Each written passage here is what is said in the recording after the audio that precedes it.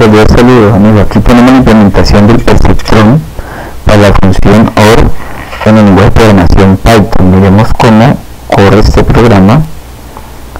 Vamos a que quede limpio. Entonces mire cómo él calcula los pesos y va buscando eh, los valores de salida con los eh, valores que él debe calcular correctamente entonces eh, al final mire que em, las salidas son correctas para el perceptrón en la función OR 1, 1, 1 menos 1 que representa el 0 entonces miremoslo acá el código. Tenemos la la primera función que calcula los pesos como lo pueden observar esto está hecho en código estructurado en Python pero ustedes lo pueden hacer en, en orientado objetos se importa el, random. Y mire que aquí los pesos se inicializan de forma aleatoria con random.random random. Y se imprimen como ustedes lo pueden observar aquí en la salida que teníamos ahora del, del programa.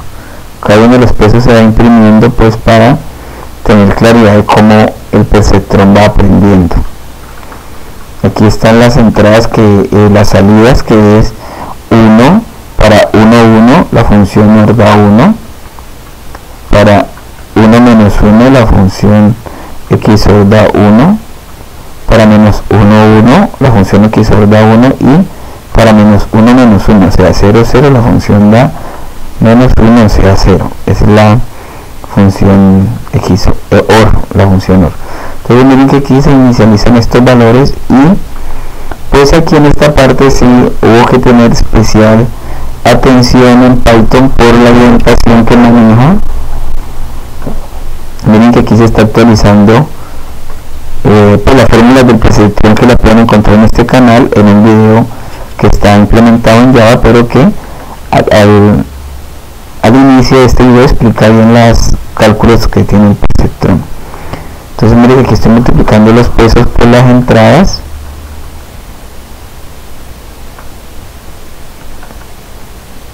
Y aquí eh, si esto da mayor que 0 entonces em, se coloca en 1 de lo contrario si da mayor o igual a 0 se coloca en, 1 de lo contrario si da menor que 0 se coloca en menos 1 estas serían las salidas. Si la salida calculada aquí es igual a la salida que está almacenada acá. Entonces lo que se hace es eh, imprimir que es correcto como se observa aquí en la en la salida. Observémoslo acá aquí. Miren que es correcto correcto correcto. En cambio acá cuando hay una entrada que no es correcta vuelve y recalcula. Miren que aquí esperaba un 1 y salió menos 1 entonces él vuelve y recalcula vemos entonces este es el aprendizaje del perceptrón eh, cuando vayan a copiar este código por favor miren bien la orientación y los espacios que he dejado porque pues Python es muy estricto en esto.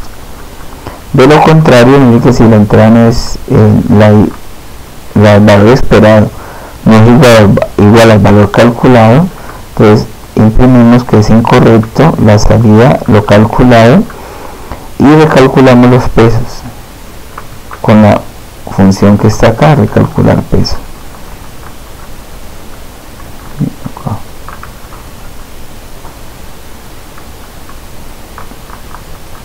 Imprimimos el peso. Este como fue incorrecto, lo colocamos en menos 1 para que empiece otra vez a recorrer eh, el conjunto de datos de ejemplo. Y aquí para que avance entonces mire que este i igual a i más 1 está con el while está al mismo nivel del while y este i menos 1 está a nivel del else que está aquí. Entonces ese es todo el código que deben implementar.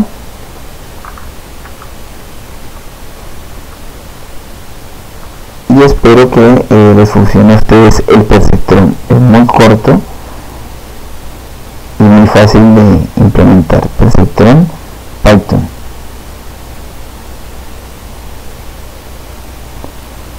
que esta vez eh, se mueve un poquito más en aprender hasta que sacó las salidas correctas. Miren aquí el proceso de aprendizaje como se va dando. Pesos iniciales, ahí tiene una entrada y una salida incorrecta, vuelve y corrección de pesos aquí. Aquí las dos primeras también, incorrecto, entonces corrección de pesos, verifica, incorrecto, vuelve y corrige los pesos y mire que aquí ya tenía una, dos, tres salidas correctas pero la última era incorrecta. Recalculó y al final eh, dan las salidas correctas. Es todo el proceso de aprendizaje en este caso para el perceptor acuérdense que como estamos utilizando valores aleatorios al inicio pues eh, siempre harán pesos diferentes el resultado pues si espera que sea el de la salida que estamos haciendo acuérdense que el perceptrón miremos si podemos implementar la función se van a acordar que esto solo funciona para las funciones eh, linealmente separables ¿no? entonces separables que unos puntos quedan a un lado de, una línea y los otros al otro lado. Por ejemplo la función AND sería em, para 1 1 sería 1 y para el resto de valores sería menos 1 de la función AND así. Para la AND el único valor eh, digamos que va verdadero o 1 sería 1 1 el resto todos los valores darían eh, menos 1 miremos si aprende esta función. Cómo la aprende es correcto mire que acaba de aprender la función AND el primer valor 1 1 y el resto de valores su salida es menos 1 acuerdo que esta es la que eh, calcula y esta es la salida. O miremos acá mejor. Cuando colocamos correcto es la salida y la calculada. O sea que la de acá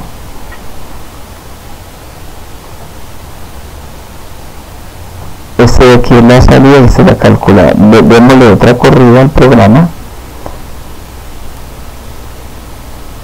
Esta función la está aprendiendo rapidísima miren la primera la aprendió. Vemos esto. Entonces esta función la aprende bastante rápido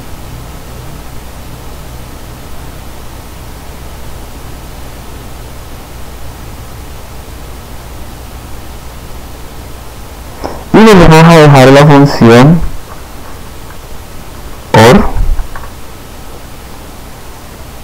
de esta forma.